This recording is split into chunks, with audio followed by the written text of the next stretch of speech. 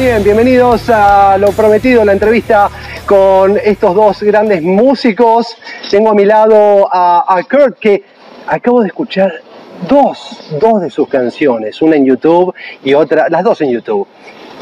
Y me quedé perplejo de la, la música que estaba escuchando, lo que canta Kurt, obviamente acá con Phil, pero Increíble, increíble. Dije, esa es la música que él, él me entiende. I told him. Le dije a él eh, antes de la, entrevista.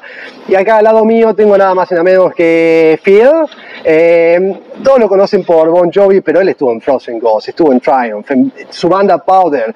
Tocó para Tommy Lee, para Rob Zombie, eh, me los tuve que notar. Para Daughtry, Aldo Nova, Adam Lambert, Hellstorm y Cinedex. Wow. Cinedex. Yeah. I don't have anything about Cinedex. I wanna. I was 17. I forget.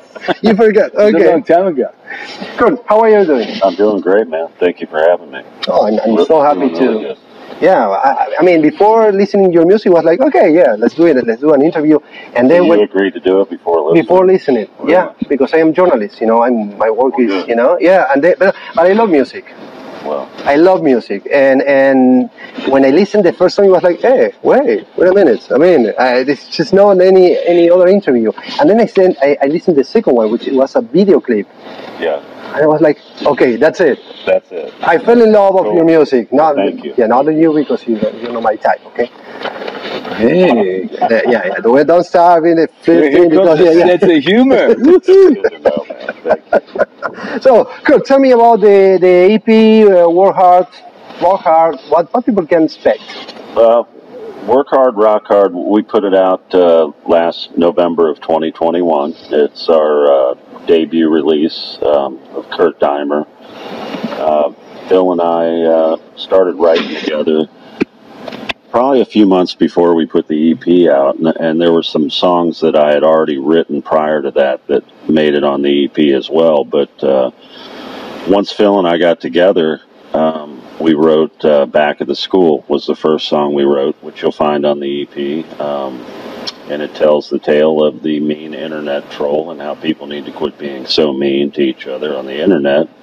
Then we wrote Only Time Will Tell, which everything in your life that happens to you, you never know what it could be, which what what is going to be next. Only time will tell. Mm. And then we just filled out that album with some uh, other great tunes, and uh, it was our first debut release. And then we toured along with that uh, release, along with Geoff Tate from uh, yes, the former frontman of Queensryche, who's featured in a song on the album called "Burn Together," which actually did pretty well here in America on the charts. It cracked into the top 40 of rock, of rock charts, I think the mid 20s. So, oh, nice, nice. Yeah, so it did, it did very well, and you'll see that on there as well. I mean, that song is on there as well. So. Bueno, abreviando un poquito en español, eh, la sacaron en noviembre del año pasado, tenía varias canciones ya eh, armadas, algunas donde participa Phil, y bueno, pusieron un EP con cinco temas eh, y grabaron un par de videos. En una de, las canciones aparece como invitado Jeff Tate de Queensryche y bueno, ahora justamente lo, voy a preguntar porque le pregunté acerca de, qué puede esperar la gente de este disco, ¿no? de este EP que sacaron. Y le voy a preguntar ahora cómo, cómo coincidió dar con Jeff. How, how did you end up having Jeff in, in working for you?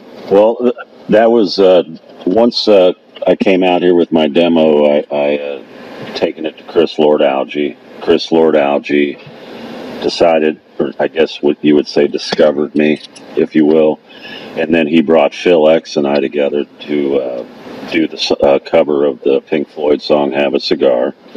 So we met on the set of that. You'll see the video on YouTube of "Have a Cigar."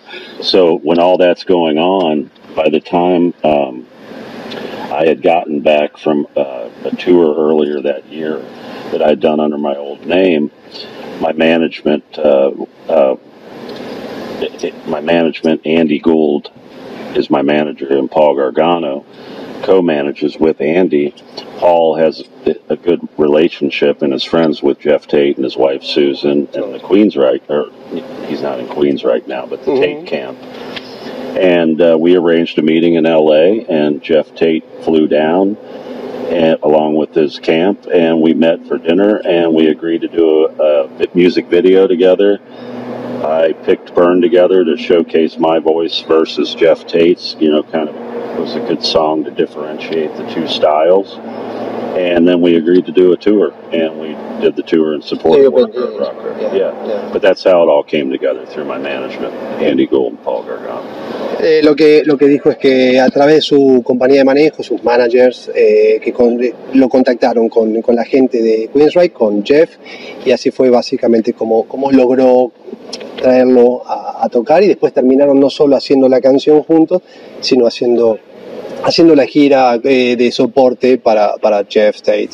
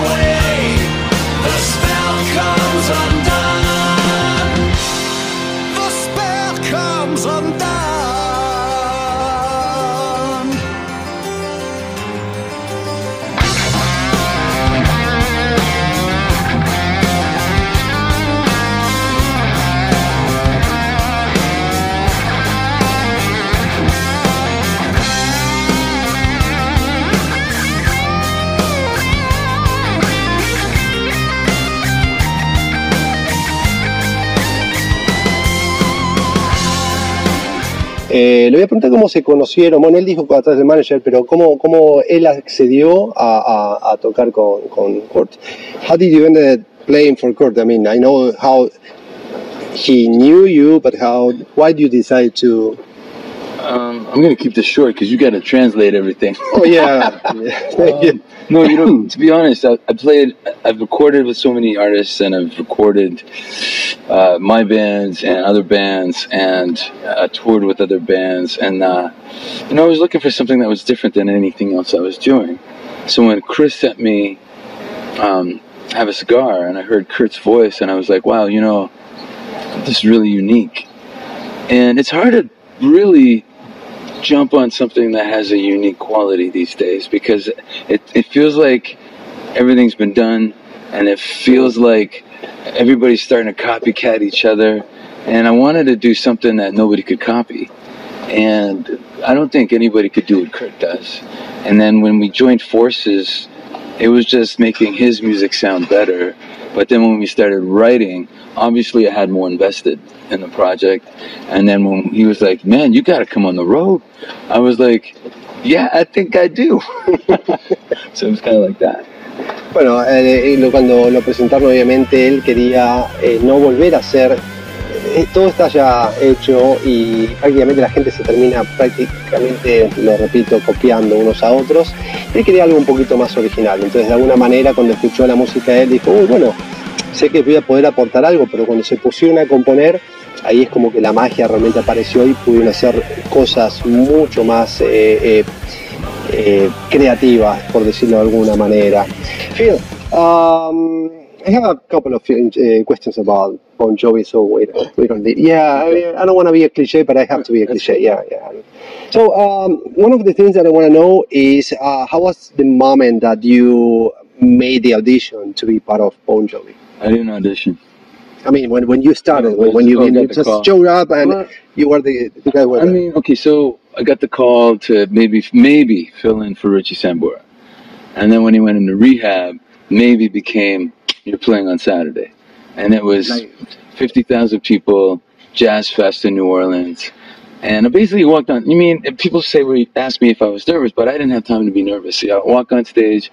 My mentality is you've been playing and singing your whole life. It's just Bon Jovi songs. You got this. Go do it. So, and that's exactly what I did. Because anything, any other thought would have tripped me up, and they would have sent me home. But that didn't happen. So it was it was pretty amazing. It's an amazing feeling. They have an incredible fan base. Yeah. Like they go to, it's not unusual to see the same face in the front row for like 20 shows in a row. I mean, I don't know. I like, did you sell your house? Like, what the hell? Bueno, lo que dijo es que lo llamaron, le dijeron que tal vez iba a reemplazar a Richie, que tal vez iba a tocar y de repente lo llamaron y que el sábado ya tenía que tocar para 50.000 personas en New Orleans y él la verdad ni siquiera tuvo tiempo de, ponerse nervioso porque él canta, ya hace años que tiene tocando y bueno, lo agarró y empezó a tocar, y encima canciones de Bon Jovi que son conocidas, no es algo realmente novedoso como para sacarlas. Eh, Juan me- bueno, le voy a preguntar por qué, por qué lo hicieron como miembro ya completo, full member, y, y con un tiempo estaba como detrás de, de- de eso. What made them to make you a full member, you and Hugh? It's funny because actually, it, it, it's kind of funny. It's like John came up to me one day and he goes, You know, you can't really be a, a rock band with a singer, a drummer, and a piano player. So maybe, maybe, you know, you should be the guitar player and then we'll get Hugh to be the bass player and we'll be the, the band. And I thought, well, I, I think that's a pretty good idea. But, you know, John is like, uh, he loves the drills. You know, he, he's, he's very supportive of whatever I do. And then the last thing that I did was uh, a private um, in Nashville in May, in the middle of our tour. Yeah. And he goes, Are you playing tomorrow? I'm like, I am. He goes, Have fun. he's just, he's very, very like, man, this is what you do. You play music, man. And then there's, I know you're happy with a guitar in your hands. Bless you. That's amazing. Yeah, it's really amazing. Yeah. Bueno, el, el tema es que en un momento se le acercó a él y dijo, mira, eh, es medio extraño estar en una banda donde hay un cantante, un tecladista y un baterista. Entonces le terminó diciendo, bueno, ¿quieres formar parte de la banda? Un poco redundante porque él ya estaba tocando en Bon Jovi y siempre Bon Jovi, eh, John lo, lo ha, lo ha apoyado a él en todo lo que hizo. A él le encanta tocar, tiene un montón de bandas, su banda Powder, los de, de Thrills y todo eso, todas sus bandas y, y John siempre lo estuvo apoyando ahí para que él toque. Y contó una anécdota, pero la verdad ni la entendí, así que ahora le voy a preguntar un poquito cómo describiría a John. How will you describe John? Well, he's my boss. Be careful what you say. Exactly. no, he's he's a very generous, giving person, and uh, when he lets his guard down and you're just having lunch, you're laughing like you're hanging out with a regular buddy, a normal dude. He's a he's a really normal dude, but you know sometimes he can be in a bubble because he's one of the biggest rock stars in the world, right? Yeah. But uh, I don't. I never complain about the that. most uh, important characteristic from, from Joe, the thing that you say, oh, I love this from you. Wait, say that one more. The, the, something that you love from him, so from his personality. Oh man, he's like, it, like I said, if if you if you're in a situation where you're like having lunch at the hotel before soundcheck, he's just a normal dude, and I love that about him. And you're laughing, and he's cracking jokes, and you're cracking jokes, and he's laughing at your jokes, Mm. and it's just uh, it's an amazing. But then he, you know, he's like, dude, whatever you want to do, whatever you need, you need anything from me ever, you just call. Wow. And he's that guy, you know, and it's it's an amazing. He's an amazing friend to have, for sure. Como dije, eh, la verdad, una vez que estás dentro de la burbuja, eh, es un tipo normal, eh, se ríe de tus bromas, te hace bromas, te trata de igual a igual y encima lo reitera, siempre lo ha, le dijo, siempre que me necesites me llamás y voy a estar para vos. Le voy a preguntar un poquito cómo le impactó a él la, muerte de, de Alec. How did you impact, where were you when Alec John Such passed away? Um, I I was in my kitchen and my wife walked in and she told me, and I only met him twice, no, three times. Once back in 1990 at John's house, and then back, uh, and then we we played the Rock and Roll Hall of Fame together. So we hung out then, and he was really cool. I mean. I didn't feel like a great loss for me, other than him being an original member of the band and me being a fan of the original lineup. But you know, I'm the guy hit all my boys, you know. Go hit Tico and, and, and Hugh and David and John and say, hey man, I'm, I'm sorry you guys lost your brother. My heart goes out to your families, kind of thing, you know. It's, losing anybody is really tough, you know. Yeah. Mira, eh, bueno, él estaba en la cocina cuando pasó, le dijo la esposa y bueno, él lo, lo conoció un par de veces en los 90 cuando era un fanático y después cuando se reunieron para el, el- la fama, el Salón de la Fama, y bueno, simplemente llamó a los muchachos y le dijo que mi corazón está con ustedes y les dio un apoyo. Es, cuando, es lo mismo que cuando se muere cualquier persona. Le voy a preguntar cómo lo puedo ubicar a él. How people can reach you. Well, the best way is go to Kurt Dimer, K U R T D E I M E R dot com. Uh, you'll find all our links to also Instagram, Facebook, YouTube. Um, subscribe, follow us all there. It's all just under my name. It's simple, Kurt Deimer. And, twi- and Twitter. Um, stream us on Spotify, Apple, or however however else you stream your music, and it's all under my name, Kurt Deimer. So. Fácil, Kurt Daimer, ok, Daimer en español para que lo entiendan, D-E, ok, ya, ya, I say it in Spanish because- Eh, ahí todo, todo lo que es social media, ok, lo pueden ubicar y Phil, uh, any, anything else you want to say to your fans? Yeah, man. I mean, uh, I think uh, the way the fans work is just an amazing thing, and uh, I got. I feel like when I started playing with Bon Jovi, I, I got a lot of the Bon Jovi fans that just became Phil X fans, and these are the fans that follow my other band, The Drills, and these are the fans that follow Kurt now, and I just feel like it's a family, and I I really appreciate it. Um, you know, like we we were playing with Yngwie in May, and we we got to Cleveland, and there was like twelve Bon Jovi fans there, and they came to see us. So I mean, it, And this They isn't like a stadium. yeah, You know, it's you know, it's really cool. He's got a lot of loyal followers, and they've all embraced us and our music, and they truly love it, and they share it. And I appreciate all of them very much. So. Bueno, y los fanáticos de Bon Jovi que lo han seguido a él por estar dentro de la banda y, por consecuencia también todo lo que hizo él con, con los The Trills, con, con Kurt y bueno, de hecho dijo, estaban tocando, abriendo para, para In by Malstein y vinieron 12, 12 fanáticos de Bon Jovi que volaron solo para verlos a ellos. Y eso es algo que siempre le voy a estar agradecido. Y él completó eso más o menos, ¿no? De que es fantástico que lo sigan también. Así que bueno, voy a ir despidiendo. Guys, thank Oh, you. wait. Yes.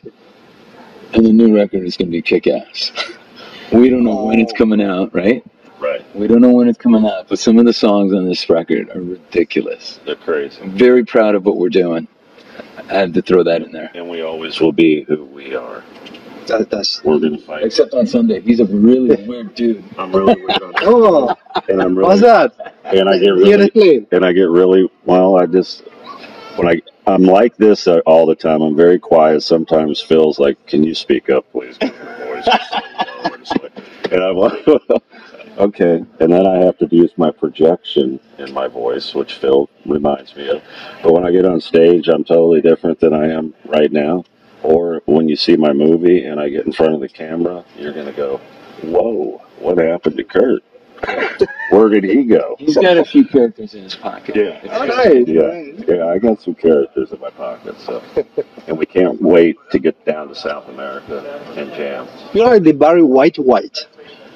Well, we might do a Barry White cover sometime. Oh, What do you think, Phil? you Yeah, I, I can even do it. I can even do it. Well, well, they've been wanting me to do an app or uh, get on OnlyFans, not because of my looks or anything, but get on there and I can be the voice that says goodnight to the ladies. You know, Yeah, I they you were send me the doing. You were message, like. they want- You were and I like. go, good night, Nancy. Wow. It's like when, when kids call Santa Claus Yeah. at, at Christmas time.